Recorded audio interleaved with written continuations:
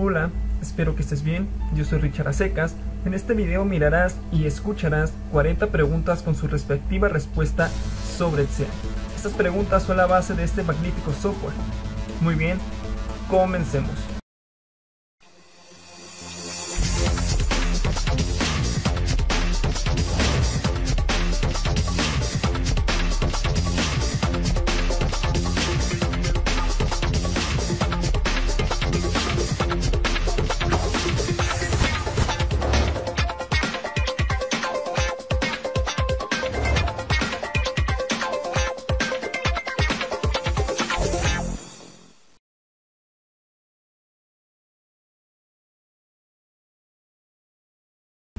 40 respuestas que debes conocer sobre Excel.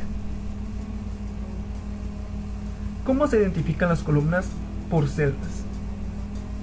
¿Cuántas columnas son de la hoja de cálculo? 16.384 aproximadamente. ¿Cómo se identifican los renglones? Por números. ¿Cuántos renglones son de la hoja de cálculo? 1.048.576.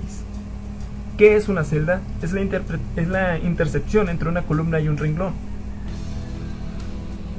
¿Cómo se escribe el nombre de una celda? Se inicia con la letra seguida del número. Ejemplos de nombres de celdas A1, B2, C3. ¿Qué va primero, la letra o el número del nombre de la celda? La letra. ¿Qué es un rango? Es una celda o el conjunto de varias celdas. ¿Dónde se utilizan los rangos? En las funciones. ¿Cómo se escribe el nombre de un rango? Está formado por los nombres de las celdas que están en las esquinas contrarias de un rango, separadas por dos puntos. Ejemplos de rangos de celdas y las celdas que contienen estos rangos. Bien, entre paréntesis, A1 contiene desde A1 hasta C2 y dentro de ella está B1 y B2. Segundo ejemplo, CD, dos puntos, F7 contiene desde D6 hasta F7 y el tercer ejemplo I14N15 contiene desde I14 A14 F15 L14 L15 M14 hasta N15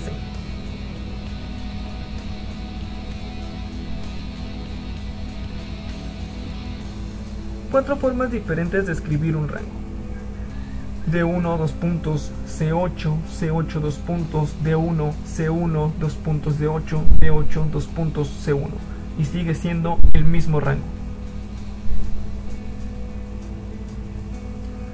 ¿Qué es combinar celdas? Es seleccionar varias celdas, después usar la opción combinar y centrar. ¿Cuáles son los operadores aritméticos básicos? Suma, resta, multiplicación, división y potencia. ¿Con qué inician las fórmulas? Con el signo igual. Ejemplos de cuatro fórmulas correctas. Igual entre paréntesis A5 más J11 igual entre paréntesis C8 dos puntos de 11 igual entre paréntesis A1 igual a B5 A igual a B5 igual a promedio entre paréntesis de 2 dos puntos B4 5 ejemplos de fórmulas incorrectas. Aquí notamos que no tiene los paréntesis el primer ejemplo, es igual a D1 B2, inclusive no tiene puntos ni comas de separación. El segundo ejemplo carece de los, de los paréntesis. El tercer ejemplo parece de, parece de paréntesis y, y comas. Ejemplos de fórmulas con tres operaciones. Igual a D4 menos C3 entre B7 más C2 y el tercer ejemplo de 4 más C9 más B7 entre 2, entre B2. Tres ejemplos de fórmulas con 5 operaciones. Aquí notamos que hay tres ejemplos con 5 operaciones como son sumas, restas, divisiones y multiplicaciones en los tres ejemplos. Varía las posiciones pero tiene estas tres operaciones. Ejemplo tres fórmulas con un operador. Igual a 7 más D1 igual a C3 menos B1 igual a 1 entre 7. Tres ejemplos de fórmulas utilizando los nombres de celdas en lugar de datos directos. Igual a 27 entre A48 igual a C5 más D5 igual a D5 menos A8. Tres ejemplos de fórmulas con un operador que utilice nombre de celda y dato directo. Es igual a C más D9 igual a A5 más 5. ¿Qué son los niveles de jerarquía? Es el orden que se realizan las operaciones en una fórmula. ¿Cuáles son los niveles de jerarquía? Todo lo que esté entre paréntesis es lo primero que se realizará. Las potencias es el segundo paso, será lo segundo que se realizará de una fórmula y el tercer paso es la multiplicación o división. Lo que aparezca primero de izquierda a derecha será lo que se haga primero y el mismo valor para la suma en la resta, lo que aparezca primero de izquierda a derecha será lo primero que siempre se realizará. En los niveles 3 y 4, ¿qué diferencia tienen los del mismo nivel o amplia la explicación en el nivel 3 y 4? En que si la división está antes que la multiplicación se realizará primero o viceversa, de la misma manera la suma y la resta. ¿Qué es una función? Son fórmulas predefinidas del Excel las cuales regresan un resultado dependiendo de la información que les proporcionamos. Nombres de función, promedio y suma, de las cuales se desprenden sus siglas en inglés. ¿Cuáles son las reglas para escribir una función? Se tiene que escribir completamente el nombre de la función, se tiene que colocar el, del lado derecho los paréntesis, Dentro de los paréntesis se coloca la información que se le da a la función. ¿Qué son los parámetros o argumentos? Es la información adicional que le indica a la función una tarea específica. ¿Cuántos parámetros tiene una función? Puede tener varios o inclusive ninguno. ¿Cómo identificas al ver una función cuántos parámetros tiene? Por la cantidad de comas que los separan.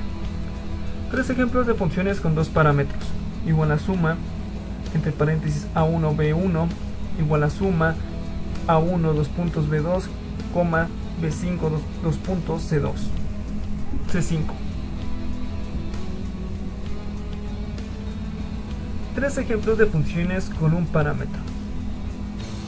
Aquí pueden ver que tienen tres ejemplos con un solo parámetro como puede ser A1 o entre paréntesis C2 dos puntos B5 ejemplos de funciones sin parámetros igual a pi entre paréntesis y pues bueno esto lo que hará es regresar el valor de pi. ¿Cómo se escribe la siguiente fórmula sin usar funciones? Igual a promedio C5 2 puntos B3 lo que estamos tomando aquí es todo lo que está dentro de ese promedio desde la celda B3 hasta la C5 entre 6 ¿Cómo se escribe la siguiente fórmula sin usar funciones? Igual a suma entre paréntesis A2, dos puntos B4 y de la misma manera que lo hicimos con la anterior, se escribe todo lo que esté entre las celdas desde A2 hasta B4 entre 6. ¿Cómo se escribe la siguiente fórmula usando funciones y rangos? Aunque aquí puede ser eh, muy extensa la fórmula, en realidad lo único que está reflejando es igual a suma entre paréntesis F7 dos puntos H9. ¿Qué símbolos se utilizan para las celdas absolutas? Es el símbolo de pesos, en un ejemplo sería el símbolo de pesos A, símbolo de pesos 1. ¿Qué es una celda absoluta? Si cambia la posición de la celda que contiene la fórmula, la celda absoluta permanece invariable. Si se copia de la fórmula en filas o columnas, la celda absoluta no se ajusta. En resumen, la celda absoluta no se puede mover, ni copiar, ni cambiar su información. Es una celda absoluta. Gracias por haber visto mi video. Si este video te ha sido de ayuda, te invito a que te suscribas, califiques positivo, comentes y compartas este contenido. Yo soy el ingeniero Richard Acecas.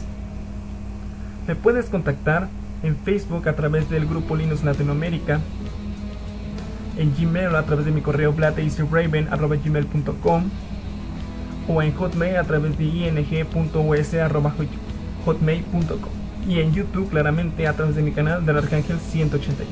Muchas gracias por haber visto este video.